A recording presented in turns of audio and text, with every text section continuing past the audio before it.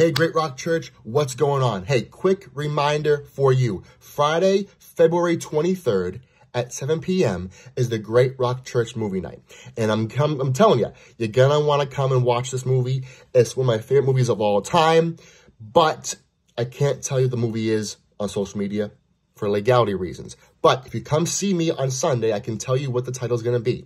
Also, if you have friends or family that are unsaved, bring them. The whole point, believe it or not, the main point of movie night is an outreach for the surrounding areas of Danvers. So people can get to Great Rock Church, know we exist, have a stress-free environment, and watch a movie that the church is paying for with free popcorn and free drinks.